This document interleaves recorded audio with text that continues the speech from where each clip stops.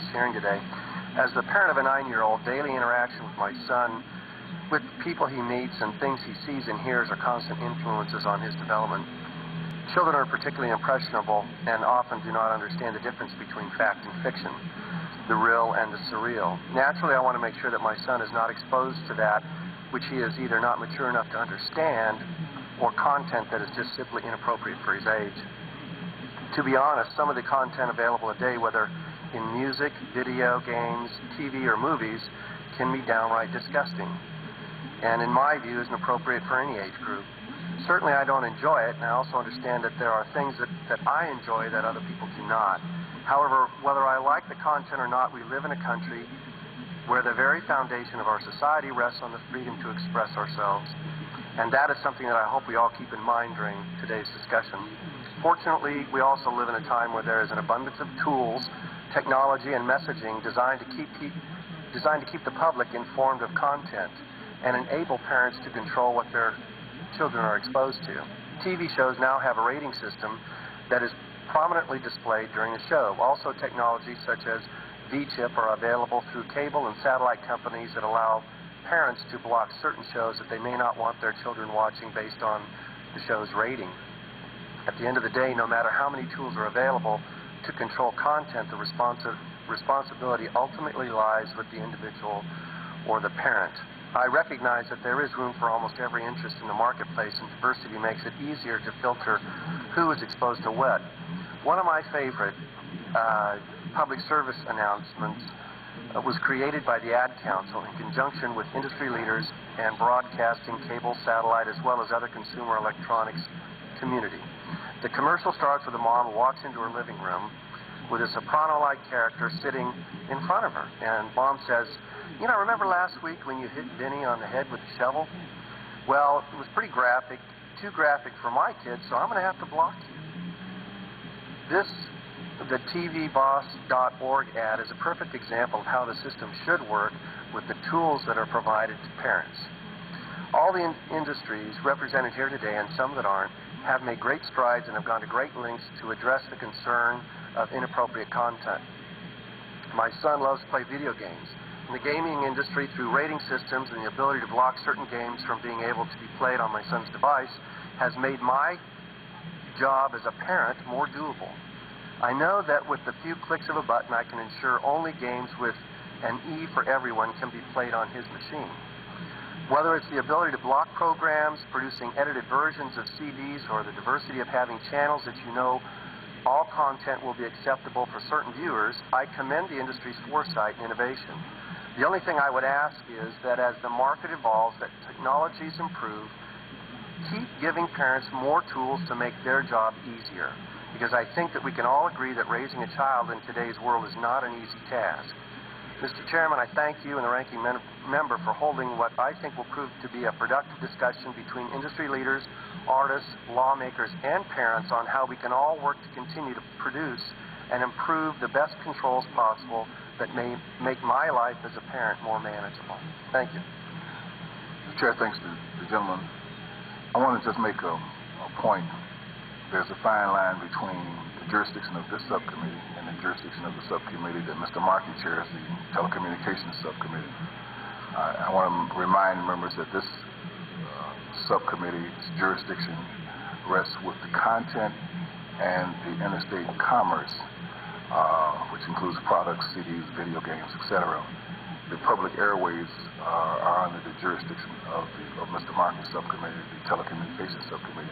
Please be mindful that Ed is my friend, and we don't want to battle over jurisdiction in front of everyone. Not at all. okay. Thanks so much. So, I the chair now recognizes the gentleman from New York, Mr. Wayne.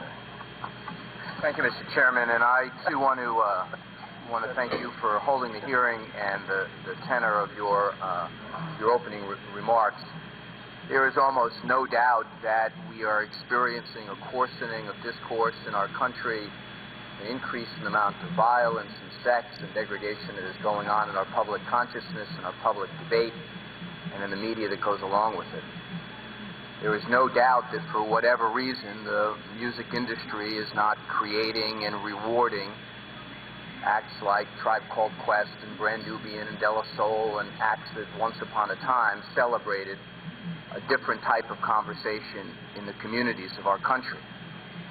There's no doubt that dance hall is also affected in other parts of music, and there's no doubt that the traditions of Studio One and created, you know, the Barrington Levy's of the world and the Bob Marleys of the world have given away the Buju Bantons of the world and the misogyny and homophobia that they communicate. There's no doubt that when you look at the artists that are being celebrated in the marketplace today, extraordinarily successful artists like 50 Cent, you see the promotion of records like Get Rich or Die Trying in some of the communities most ravaged by handguns, giant posters with, with the artist holding a handgun in his hand, extended outward, clearly sending a message and communicating a message that is a violent one.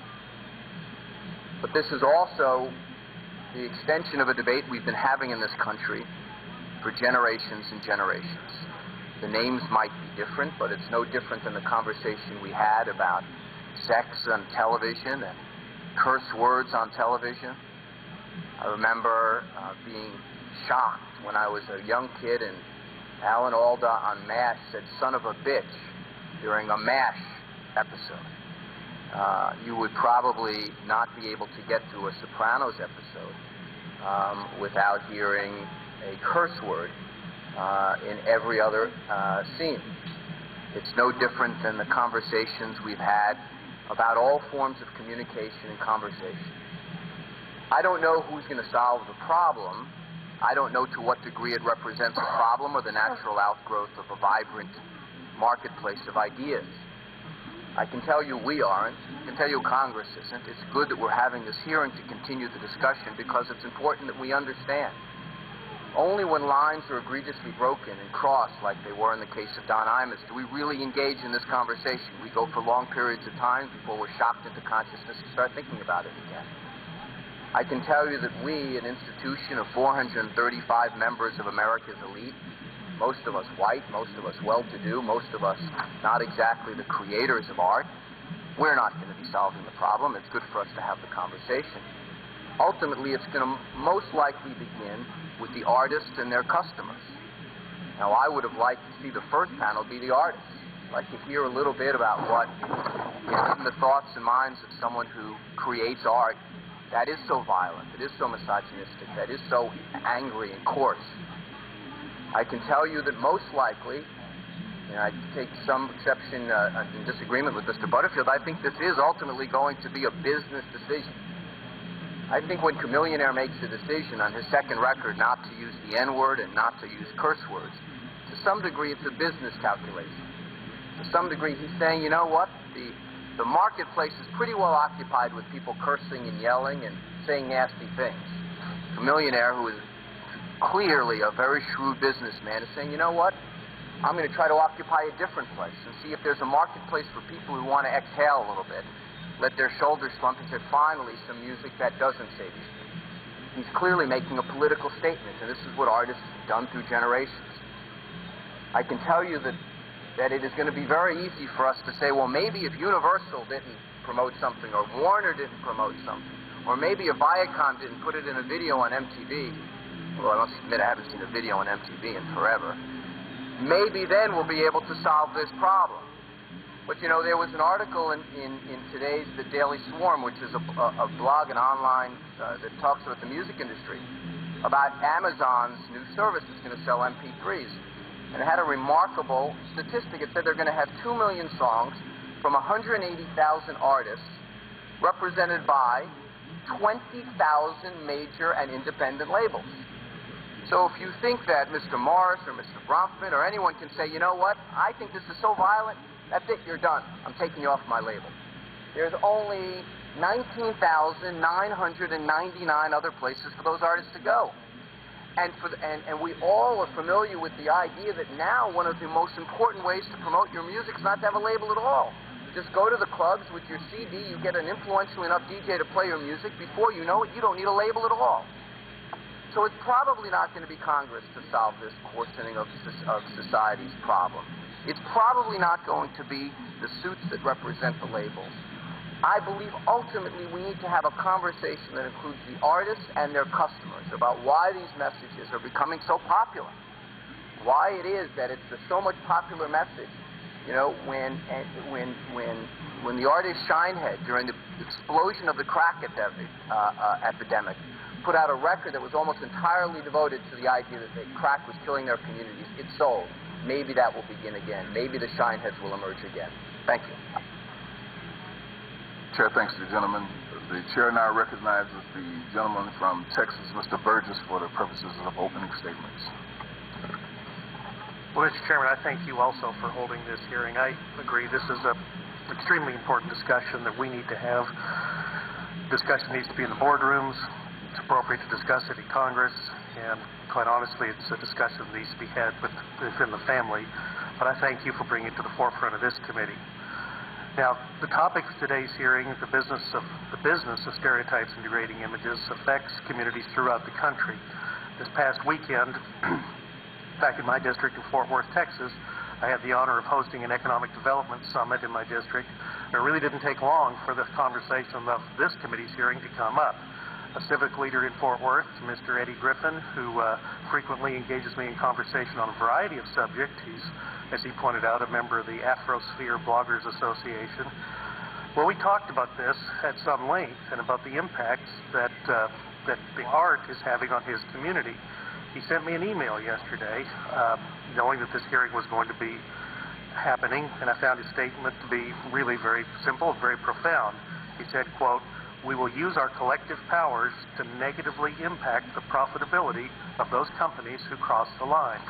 Close quote. Mr. Chairman, the Constitution wisely limits what we in Congress can do legislatively regarding what we may consider objectionable material in art or media. But consumers, and as a nation of consumers, we hold tremendous power and we can stop buying the degrading music and video games. We all know that if there weren't a profit, if people weren't buying into the line of products, then they would no longer be on the shelves in our local stores for purchase. As Mr. Griffin said, we, everyone in this room and everyone watching this hearing on television, can collectively use our power of our individual purse to no longer make this a profitable business for anyone, including the companies represented in this room, some of the artists who are here with us today who've penned the lyrics, or the retail retailers who sell the depravity uh, that comes into our home disguised as a simple CD or video game. It's really the most powerful recourse that we have. Mr. Chairman, Mr. Griffin also said in his email that there's only so much that we as African Americans or other Americans can take, end quote. I personally don't think that we as Americans should take this type of performance art any longer. It is up to us as citizens to put an end to it. Mr. Chairman, it is my hope this hearing will help us do just that. I thank you for your leadership on this essential issue, and I'll yield back the remainder of my time. The chair thanks the gentleman for the brevity of his opening statement and now recognizing the gentleman from New York, Mr. Towns, for five minutes for the purpose of opening statements. Thank you very much, um, Mr. Chairman. Uh, let me thank you and Ranking Member Stearns for bringing us together and indicating that we must work together to find the proper balance. And I'm a strong supporter of the First Amendment. I'm glad that these fine witnesses are willing to engage us in a discussion of the negative effects of degrading images and stereotypes in our culture. We also should have some take some responsibility to help combat the negative effects as we respect important freedoms. I believe this hearing will serve as an important function in that regard.